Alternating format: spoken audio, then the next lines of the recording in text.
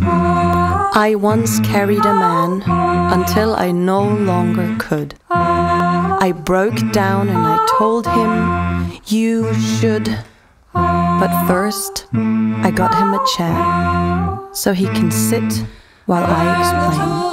And to make sure he'll listen, and so he can show me some care, I cared for him so he will know how to.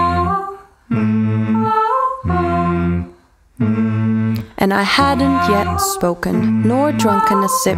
We were told to move on, and I shouldered him gently. For another woman who had carried a man until she no longer could needed a chair to sit him, to tell him he should. Until you break that chair.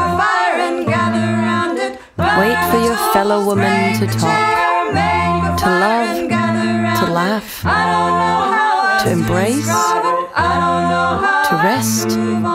That circle won't be broken.